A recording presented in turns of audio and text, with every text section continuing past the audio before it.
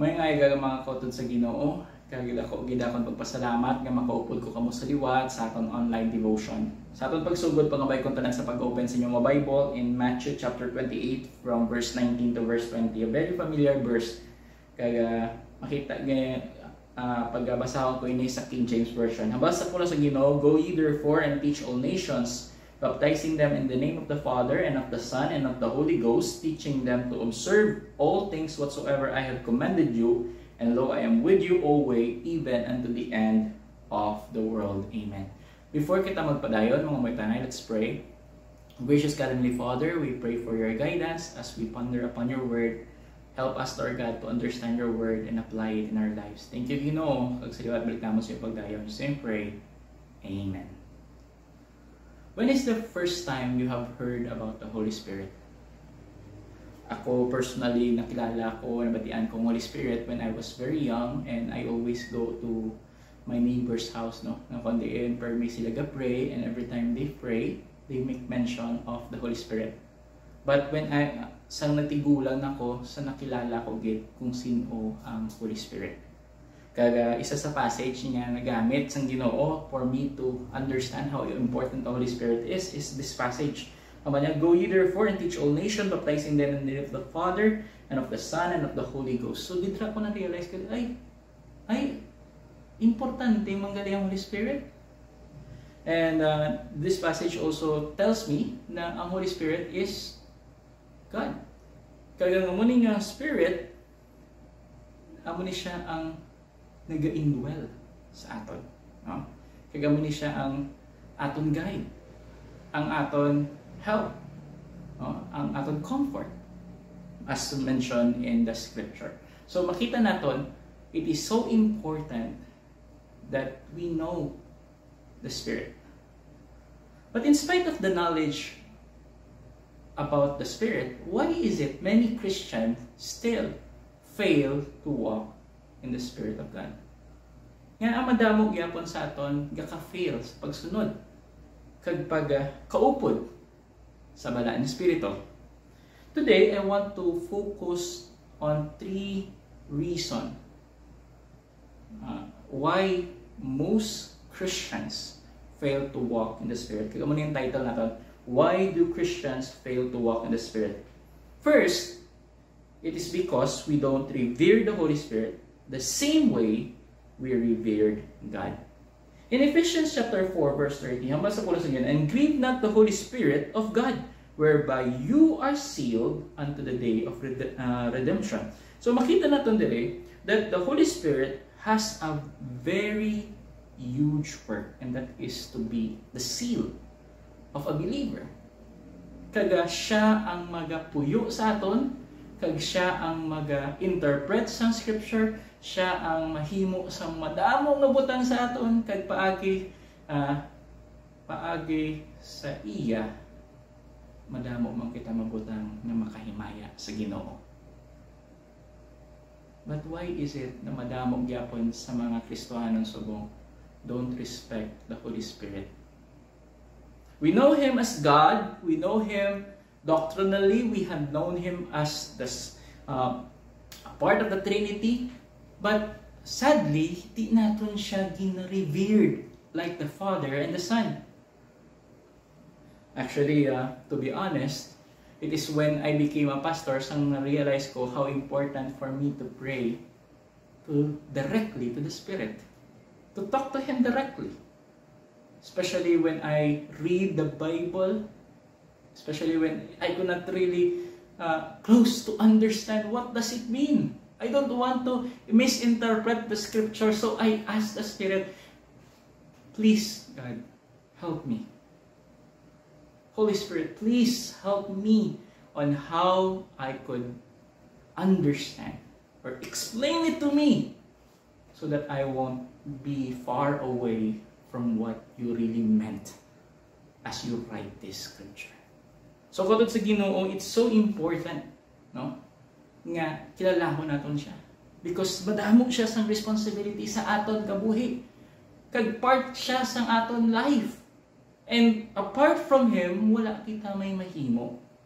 And that's the reason nga dapat naton man siya respetohon. Hatagan naton siya value sa atong kabuhi. Because unless we recognize Him as God, we recognize Him as one of the most important parts sa aton kabuhi, hindi ta magkaupod sa iya. Ga-fail kita to walk in the Spirit of God because we don't believe and we don't acknowledge Him, revered Him. The same way we revere the Father and the Son. Dapat untato nato na nakaw sa Ginoo. Dapat respetuhon natin siya. Give Him honor. Give Him praise. Appreciate that He is with us always. Appreciate that through Him we are sealed unto the day of redemption. Ito si, eh, kautod sa ginoo. Revered Him in your life. Respect Him. Acknowledge Him. The same way that we acknowledge the Father and the Son. In Malachi chapter 1 verse 6, sambal dire, A son honoreth his father and a servant his master. If then I be a father, where is mine honor? And if I be a master, where is my fear? Said the Lord of hosts unto you, O priest that despise my name, and ye say, Wherein we have despised thy name. This is uh, a, a, letter or a, a message to us uh, in Malachi. Nga kundiin, gina madamo sa mga priests at this time disrespected God by on by giving him mga mga uh, mga butang na hindi honorable. Uh, hindi siya, hindi, wala sang paghatag sang bili sa ginoo. So, if we recognize the Holy Spirit the same way we recognize God, then dapat amo man na ang aton panulok sa balang Espiritu. If we believe that the Holy Spirit and the Father are one, then amo man dapat ang aton panulok sa balang Espiritu. We fear Him, we honor Him, we respect Him, we give Him glory, we give Him honor, because He deserved it all. The second reason nga uh, uh, we fail to walk in the Spirit not only because we don't revere Him, but also we don't acknowledge His power as God. Again, like what I said, the Father, the Son, and the Holy Spirit are God. They are one. And whatever that the, the Father could do, the Holy Spirit could do as well. Whatever the Father could do, the, the Son could do as well. Oh. They are powerful, omnipotent. They are the one who holds all the power. Oh. Kag kung ano man ang ma-accomplish natin, it's only through them. So when we look at the Spirit, we should always look at Him as God nga could do everything he wants to do. Because he could do it.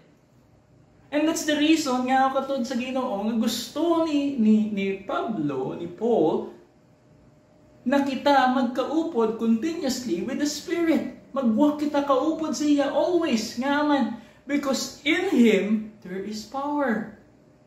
Because no matter how great you are, no matter how much you have accomplished in life, there is nothing you could do without the Spirit. And that's the reason, kung tanong na ito bala, in, Matt, and in Acts chapter 1, verse 8, hamba niya dire, But you shall receive power of the after the Holy Ghost that is come upon you, and you shall be witnesses unto me in both in Jerusalem, in all Judea, and in Samaria, and unto the uttermost part of the earth. Alam notice nyo ba lang, nga before niya, nga palakton ang mga disciples niya magkadto sa field to preach and to become a witness both in Jerusalem, in Judea, and Samaria, ginapahulat niya anay ang mga disipulo niya sa pag-abot sa banal niya Espiritu. Why? Because no matter how educated you are, no matter how eloquent, eloquent you are, no matter whatever position you have, experience you have, it is nothing if the Holy Spirit is not in you. Because He holds all the power that a Christian uh, could do. If we want to do certain things para sa Ginoo, it is the Spirit who could do it through you. If you want to know about the scripture, it is the Holy Spirit who interpret the scripture to you. If you want to deliver the word of God, it is the Spirit who will guide His word to the heart of people. I, I experienced it many times before, no? Nga, biskan ako personally, ma, ma ano ko gid, kapanongdong ko, how could I deliver the scripture powerfully? I just pray. I always pray, no? And then, ako, God, please help me, guide me kay tungod. I don't know how could I preach it so eloquently that people will understand or uh, so powerfully na ang people will be moved. And I realized na biskan anoy muon ko, wala gid ko mahimo. Pero once you give up it, you give it all and allow the Spirit to take control, wala sang tigpusoon hindi matandog sang pulong sang Ginoo. I've experienced this so much, so many times the past. Na madamo sa mga tao nga hindi as if as knowledgeable, as educated, as many people who are in the stage in the pulpit ginagamit sang Ginoo sa pag-reach out and kag-preach kag madamo nga kalag ang kilala sa Ginoo. Not because of how capable they are but because the Holy Spirit is at work in them God sa Ginoo if only a Christians or Christians will know how powerful the Holy Spirit and rely on the Spirit always sa ila kabuhi, then wala sang butang hindi kita mahimo. Wala sang butang kita nga hindi ma-accomplish para sa kadayawan sang Ginoo. Notice na to, time and time again, through history of our fellow brethren, No? They went to from one place going to another, not expecting anything. No? Eh, of course, wala man sila amugin na nga capability, but yet, makita natin how powerful. Just think about the 11 apostles, no? Or the 12 apostles. Kung tanong ito, balang ila background, hindi man mo na uh, very very good nga good. No? Hindi man nahambi, gid ang ila background. Some of them are fishermen, tax collector. No? Hindi man gid amo na ang kanami ang ila background, yet they changed the world. Not because of who they are, but because of what the Holy Spirit had done through them. That is how powerful the Spirit is. He could change the direction of one man going to hell, now going to heaven. Ang muna ka-powerful ang Holy Spirit. And if we acknowledge it, if we acknowledge the Holy Spirit, then we could do great things. And we could totally allow the Spirit to take control of us. Okay? So, the third reason nga, uh, ang isa ka Kristohanon fail to walk in the Spirit, it's the most simplest reason. It's because we don't want to know Him and we don't want to allow Him to take total control of us. It's simple. Hindi lang natin gusto ang iya way gusto lang naton gyapon ang aton way. Gusto lang naton masunod ang aton gusto. Oh, that's why hindi kita mag-walk in the Spirit of God. Nami bala sa Galatians chapter 5 verse 16 and verse 18. Hamba niya, this is this I say then, walk in the Spirit and ye shall not fulfill the lust of the flesh.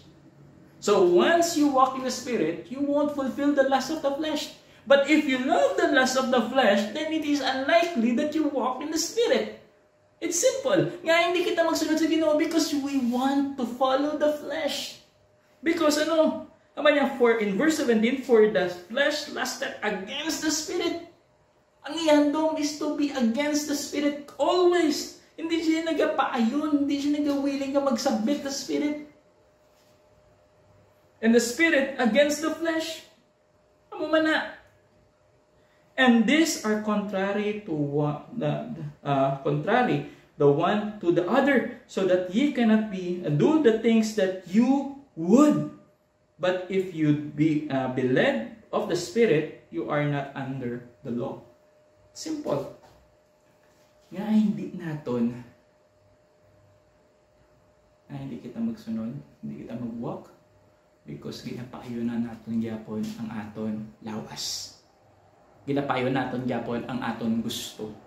But the thing is, I want you to know this, kauto sa Ginoo, that kung paayunan lang nato nato kagalingon, it will always leads us to destruction.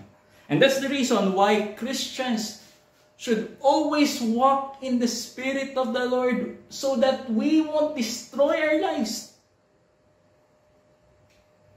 So that we won't dishonor our God. The God who created us, the, the God who saved us through Jesus Christ. The the God that seals us. Why do we walk? We need to walk in the Spirit. It's because it is only through walking the Spirit we could truly please God. We could truly do His work. We could truly glorify and honor Him.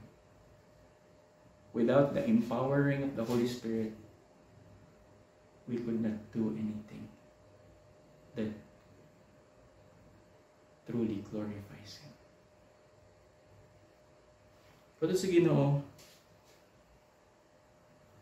once you walk in the Spirit, you are under, you are like a faucet that is holding a vast amount of water connected to the sea because the, the Holy Spirit is but like a sea. Its power is like like the sea, vast water. Now, if you will only allow yourself to be in uh, to be totally controlled by the Spirit, it will bring forth so much water out of you. The Holy Spirit will bring much so, so much fruit in you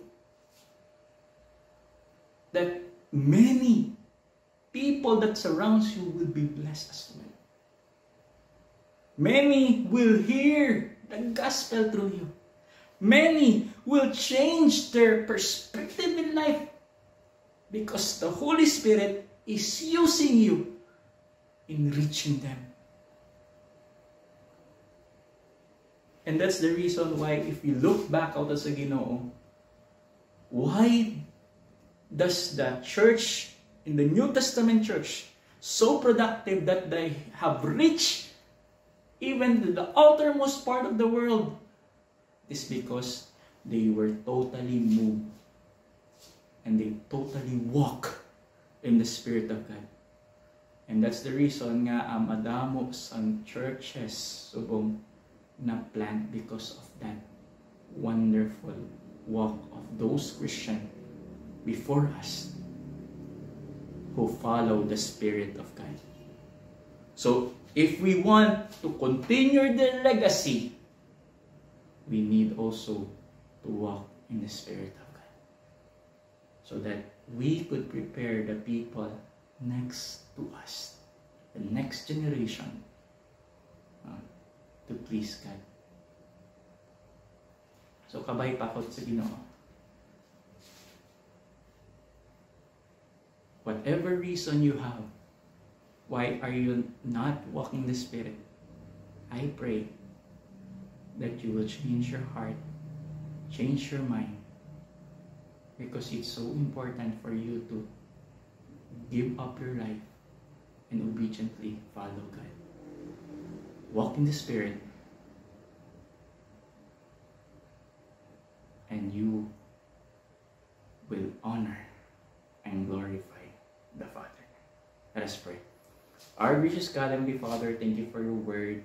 May your word be a blessing or it will be used as a wonderful blessing in our lives so that we could live a life, Lord God, that is truly pleasing before your eyes. Thank you, Ginoo. Pagsaliwat balik naman sa iyong pagdaya. Pray. Amen.